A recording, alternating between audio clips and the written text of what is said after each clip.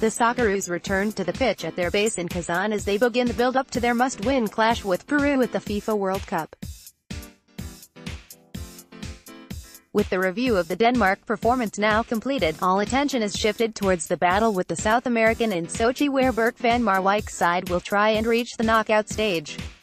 Poll, vote for your Socceroos 11 to play Peru equation. What must happen for the Socceroos to qualify for the round of 16? Here's a rep of day 34 in Socceroos camp, brought to you by Caltex. Stay tuned to Socceroos.com.au as we provide daily updates for the FIFA World Cup. The Socceroos were back out on the pitch at the AK Bars base camp, continuing with some recovery work at the Stadium Trudovye Rezervy, while also undergoing a light session.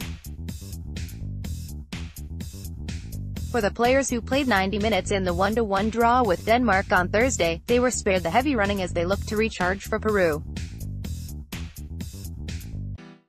It was mostly recovery exercises, stretching and light jogging as they begin get ready for the final group match on Wednesday morning, midnight EST, live on SBS and Optus Sport. Goalkeeper Matt Ryan, midfielder Aaron Mooy and winger Matthew Leckie just walked laps of the pitch and stretched with head of sports science Dr. Craig Duncan. Coach Bert Van Marwijk shares a joke with Jackson Irvine. For the rest of the squad it was a field session with a usual warm-up and some passing drills before getting into some larger-scale stuff as well as working on their crossing, shooting and finish. Given Australia's dominant performance against the Danes, it was only the final pass or shot which cost the side victory.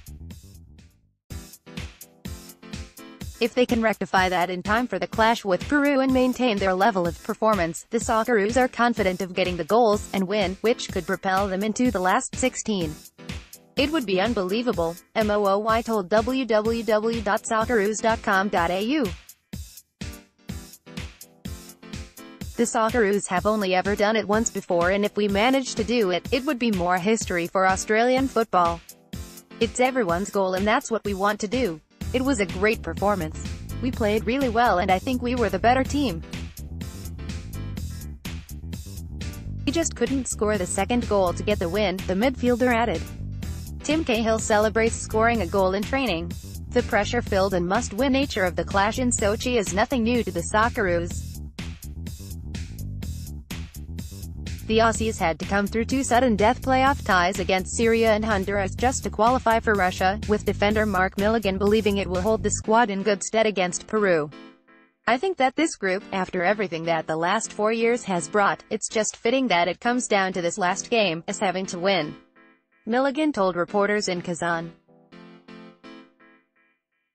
The scene is set for us. While we can't control everything else that happens, I know that we will give absolutely everything that we have.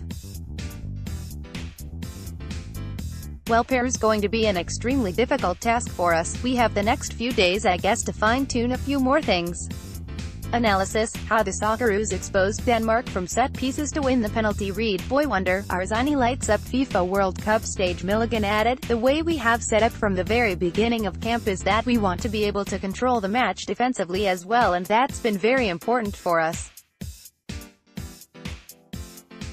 I don't think that will be any different. We'll get more into the specifics in the next few days. They're still a very good side and I don't think their current standing in the group is going to influence the way they play too much. Stay tuned for exclusive Caltex Socceroos training camp photos, footage and insight on Socceroos.com.au or follow us on Twitter, Instagram or Facebook.